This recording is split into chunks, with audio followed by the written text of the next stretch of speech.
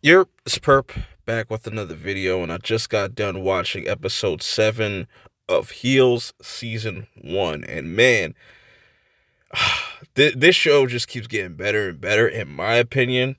It's definitely becoming one of my favorite of this year so far. We took a week off, but we're back, and it's looking like a promising finale that we're going to get next week. Before I get into this review, hit that like button, subscribe, follow me on Twitter at PurpMinded420. With all that being said, let's dive right into it because we get a little bit of a flashback of Jack talking to his father and how his father was always against Ace becoming a part of the wrestling and stuff like that. He wanted him to get more into sports. He doesn't want that lifestyle, but you know, um Jack kind of pushed against that and said no, he could be a star. He could really help the business. And I like how they show that these two were never really eye to eye, even though Jack is really doing all this for his father. He wants this family business to su succeed. And I also like that we get to see the other side of things as far as the competition, dystopia, Gully, and how far he's willing to go to just um destroy his competition. I think things are going to get really personal between these two companies, man. Between Gully and Jack, things are going to get really personal cuz man, we'll get into all that, but he's kind of worried about the fair and how many people that's going to draw. He even says it's like if that hits off, it's over for uh Gully so we'll get we'll get back to that. We have Crystal going to Jack trying to apologize, even writes a letter, is pouring her heart out. And mind you, Staci's watching all this.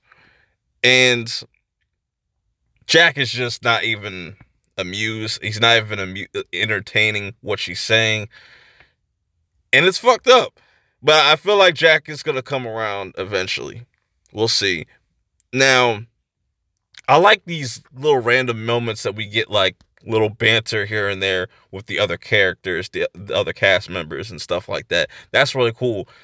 Anyways, Jack is just like trying to figure out what's going on here. He's pretty pissed off. You could tell that, you know, he has to deal with all this stuff with Gully's trying to poach with um he's trying to poach and trying to get people to go over to his show and flip sides and stuff like that, which it's interesting where this episode leads off to because we start to see them playing out playing out the main event. And ace and bill start to butt, bump heads on who should win. And it, it's going to be interesting to see how that plays out man because we still don't know exactly the final script of what whatever or however the um the main event's going to play out. So with all this in Ace's head, he starts to look at Rooster and see that he's down in Florida. Rooster already made his decision. He's pretty much jumped ship. The son, you know, the son is picking fights with people at school, going off like he's on straight demon time. He has his black forces on, not messing with nobody. And his whole explanation is that he sees his father and his uncle always going back and forth and you know it's starting to take an effect on him and he's starting to take the wrestling thing too serious as well acting out in school.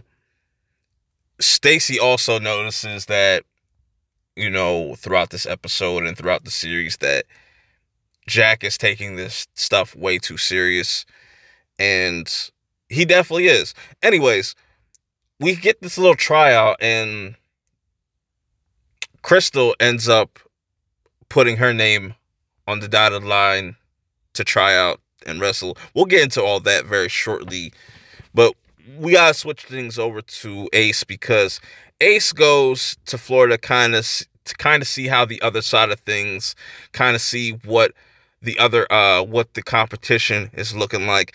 Everything is a party, party, party. It's wild. It's madness. It's it, you could just have as much freedom as possible. And all that stuff is tempting. This guy, Gully, is really the devil, man. Just, and he knows how to talk a person into joining him. He just knows how to manipulate and just say the right things. He tells you what you want to hear. He doesn't really care about um, a script or nothing like that or um, the legacy of wrestling and stuff like that. He just sees dollar signs and he's going to put that in front of you. Shifting back over to the tryouts, Bill's sitting there just making light work of the uh of people trying out and stuff until until Crystal uh steps to Bill and shows what she's got and she did an amazing job as well. Really impressed everybody. Even Willie says Crystal was the best one, but Jack's really not trying to hear it because she he's just want wants to protect his brother. He's not really thinking about the talent, even though his brother's about to jump ship. And I like this conversation that Ace has with uh, Gully. That shit, um, that shit was crazy, and that th- that really made him kind of think about things and living in Jack's shadow. And he's like saying Stop letting Jack fuck you over. You're better than that. I can make you a star. And he's just really eating in, into this. Just Gully's just planting the seeds. A really dope villain. Anyways, going back to Willie, we're starting to get more of Willie. I like how I said in the beginning how we're seeing more of these other characters, just not Ace, Jack, and everything, because everybody everything that they do affects them as well. And you're starting to see that with Willie. Um, her daughter's ridiculous. How she sets a timer uh, to wash the dishes. I was like, you could just do that now and just. And you you start to see that she's under a lot of pressure. Husband starts to see this and is trying to just be there for whatever you know anything that she needs. He's there and he's trying to just figure it all out and he thinks it has something to do with uh, Bill being back, and that's bringing back past emotions. And he's not really having any hard feelings about it. He just wants to be there for the woman that he loves. I'm on. I, I I'm curious to see where Willie goes. Like if she's gonna end up leaving and putting this all up because she is a good producer and all that, and her husband lets her know that. Um, that you got to know your worth pretty much. You you're uh you deserve better. I like that scene. That was really cool, really emotional. So now we get to the end of the episode where you see Ace waking up with nothing but, you know, tits in his face and it seems like he's made a his kind of decision. He's still kind of in between. He's kind of flip-flopping a little bit. He, he calls Crystal because he wants Crystal to come down here, and you know, he still cares about Crystal. I, I I like that about Ace, but he's making a lot of wrong choices. We'll see where this goes. So Crystal goes to um to Jack to tell him that Ace is about to flip. He's over there at Dystopia. And Ace out here wilding, yo. He's like snorting coke over here and stuff like that. Here's a ridiculous scene though before we get into the whole um end of the episode Staci f- is gonna freak out on Jack about these uh these Kleenex or whatever. It's just like, are you serious? Come on. I understand like she didn't know about it, but come on, it's not that serious, in my opinion. That's gonna turn into a whole fight.